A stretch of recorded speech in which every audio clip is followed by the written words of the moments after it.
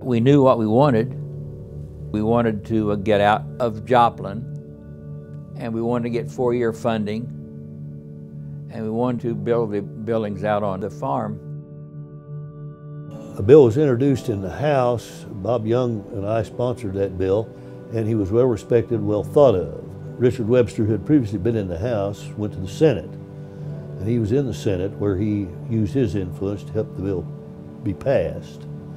At the time in uh, August when I came, they had already passed the uh, bond issue, two and a half million dollar bond issue for the some of the buildings of the new campus. They acquired the property from the uh, Frank Walleye and his wife.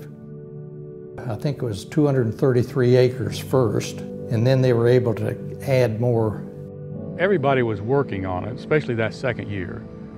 And we came out, uh, you know, we could get called, we had to develop a whole curriculum. You know, we had to get a catalog. You can't come out be a, have a third year without a catalog. And so we were designing a catalog, writing curriculum, uh, requirements for degrees. It was not uncommon to get a call, well, uh, weekends, Thanksgiving. Uh, can you come out? We're working here. The teachers here were fabulous. They also took the time to ask me how I was doing all the time. And they weren't just professors, they were friends. Fred Hughes was the, the spark plug. He'd been an FBI agent during the war, uh, knew lots of people, and of course Dr. Billingsley was quite a politician. Fred Hughes called him and said, we would like for you to be president of, of a four-year college. We want to make Jasper County Junior College into a four-year college and we want you to, to be the leader.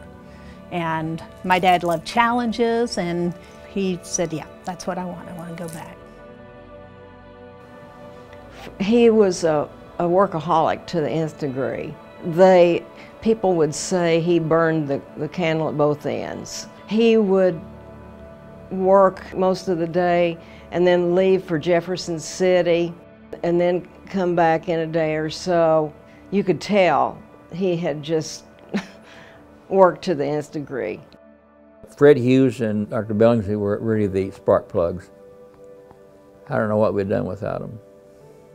George Spiva was had been known here in this community for a long time, the early mining days. He was very helpful. Gene Taylor was a very significant player. It was incredible to, to see something that had been a farm become a college campus just almost like overnight. It was just so exciting to see new buildings go up and, and think that this was going to be a campus where I'd go to college someday, which I did.